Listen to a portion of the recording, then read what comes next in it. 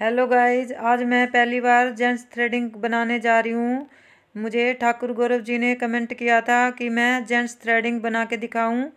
तो उन्हीं के कहने पर मैं जेंट्स थ्रेडिंग बना रही हूँ। तो देखिए कैसे बनाते हैं। तो गाइज़ जैसे कि अगर हम जेंट्स की थ्रेडिंग बनाएँगे तो अगर उसके फोर हेड पर बाल हैं तो वो भी हम सारे निकाल देंगे। क्योंकि सिर्फ़ थ्रेडिंग बनाएँगे तो वो थ्रेडिंग हमें थोड़ी अलग से दिखेगी। इसलिए हमें फोरहेड के बाल भी निकालने होते हैं। और जैसे कि लेडीज़ के लिए हम थ्रेडिंग बनाते हैं तो वो थोड़ी हम शार्प बना देते हैं और पतली भी बना देते हैं। तो गाई जेंट्स की जब हम थ्रेडिंग बनाएँगे तो सबसे पहले फोरहेड के बाल हटा देंगे अगर हैं तो। और ज़्यादा पतली थ्रेडिंग नहीं करेंगे। थोड़ी मोटी थ्रेडिंग ही रखेंगे। ज़्यादा पतली थ्रेडिंग जेंट्स के चेहरे पर जस्ती नहीं है। तो ये देखिए, एक थ्रेडिंग मैंने बना दी है। इसी तरह से अब मैं दूसरी थ्रेडिंग बना रही हूँ।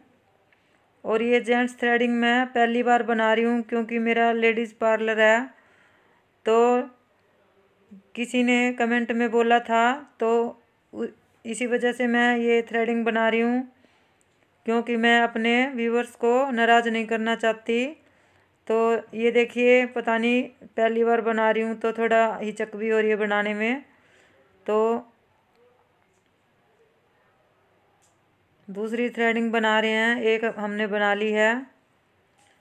बस लेंथ भी नहीं छेड़नी होती है थ्रेडिंग की और सिर्फ़ हम साइडों से बाल निकालेंगे, उप अपर और लोअर के, और थ्रेडिंग को थोड़ा मोटा ही रखेंगे। ये देखिए। इसी तरह से एक एक एक एक बाल हम निकालते जाएँगे। जैसे हम लेडीज़ थ्रेडिंग करते हैं, लेडीज़ की थ्रेडिंग करते हैं, इसमें ज़्यादा कुछ नहीं होता। जेंट्स में बट थोड़ा ध्यान रखना पड़ता है। ये पतली ना बन जाए और आजू बाजू के जो हेयर्स होते हैं एक्स्ट्रा उनको हम निकाल देंगे। सिर्फ़ थ्रेडिंग ही बनाएँगे और फोर हेड वगैरह के बाल नहीं हटाएँगे। तो थ्रेडिंग एकदम अलग से दिखती है, बनाई हुई नेचुरल नहीं लगती है वो। थोड़ी दिखने में भी नेचुरल होनी चाहिए, तभी वो थ्रेडिंग अच्छी बनती है और अच्छी लगती है। तो गाइज़ अब हम फोर हेड के मत, बीच के बाल निकाल देंगे। तो ये देखिए थ्रेडिंग हमने बना दी है। Thanks for watching